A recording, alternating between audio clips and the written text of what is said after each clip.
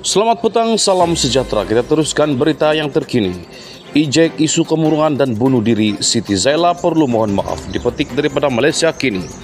Ahli Parlimen Kepung Lim Lip Eng mengkritik sikap timbalan Menteri Wanita, Keluarga dan Masyarakat Siti Zaila Muhammad Yusuf yang seolah-olah memperleke isu kesehatan mental dalam satu programnya baru-baru ini. Menurut siaran langsung rancangan berkenaan, Moderator Bezli Bakar dilihat berkali-kali menggunakan perkataan gila dan bunuh diri yang kemudian disusuli gelak mereka daripada mereka.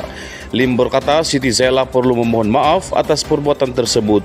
Lebih-lebih lagi apabila portfolio kementeriannya mengendalikan kes-kes yang mendorong kepada masalah kemurungan. Sekian berita sila layari Malaysia Deadline untuk berita yang lengkap. Kita jumpa lagi selamat petang, salam sejahtera. Thanks for watching. A like would be appreciated. And don't forget to subscribe.